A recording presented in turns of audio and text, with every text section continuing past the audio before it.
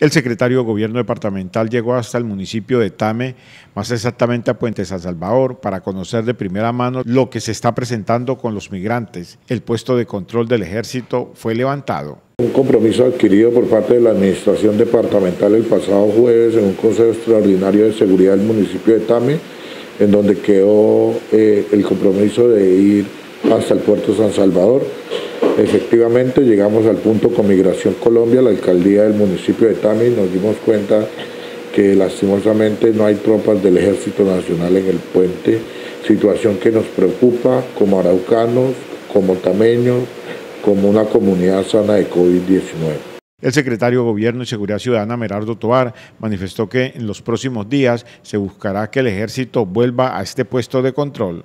Constantemente hemos tenido comunicación con nuestro glorioso Ejército Nacional, eh, la comunicación han sido asertivas y positivas en estos momentos, en estas horas próximas buscaremos la manera de superar esta situación y que hagamos presencia a todas las instituciones en este punto tan importante para la seguridad del departamento de Arauca. En este orden de ideas esperamos estar alcaldía del municipio de Tame, gobernación, unidad administrativa especial de salud, Ejército y Policía Nacional.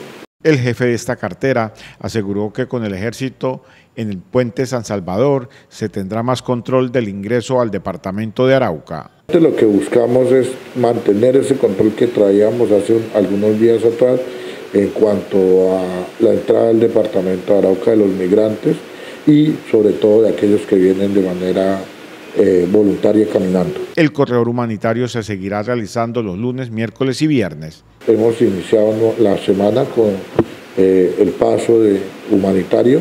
Esperamos que sigamos trabajando estos tres días a la semana que ha establecido el gobierno de Venezuela. Ahora falta esperar qué decisión se tomó en el Consejo de Seguridad donde estuvo el viceministro de Defensa y los altos mandos militares del país.